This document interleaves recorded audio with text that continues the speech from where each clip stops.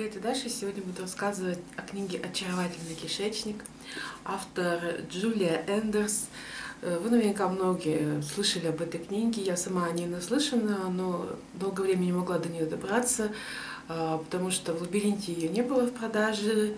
Читай города у нас еще не было в городе. И, в общем, я покупала другие книги из такой серии, там тук-тук сердце, э, потом еще какая-то была по кожу.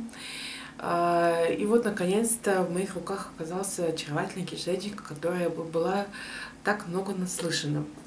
Здесь очень забавные иллюстрации, и э, для текста характерна такая вещь, как выноски, то есть а, какие-то важные вещи, которые автору хочется подчеркнуть, он, они не в тексте или а, они не просто подчеркнуты жирным, хотя и такое есть, э, они именно, вот, знаете, как в журналах иногда выносят какую-то рамочку особенную, часть текста, вот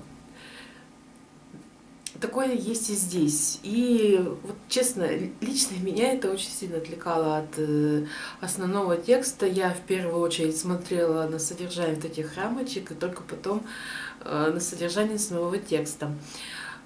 Видно, что автор старается написать понятно э, для обывателей, но иногда она забывает о том, что нужно так писать. Я несколько терминов залазила в Википедию, гуглила, искала, что, что бы это значило, хотя по смысловой нагрузке я догадывалась.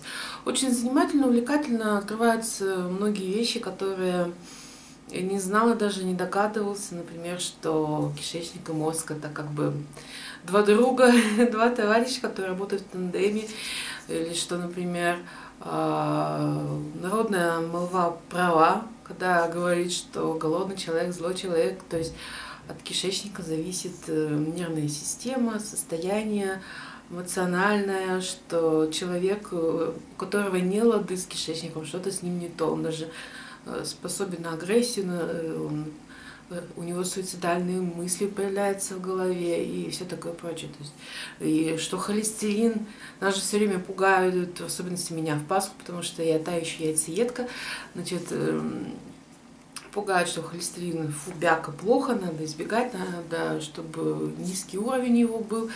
Вот, а здесь пишется наоборот, что холестерин, ну, не всякий, а особые там аббревиатуры приводятся, что он даже вот хорошо против Альцгеймера, да.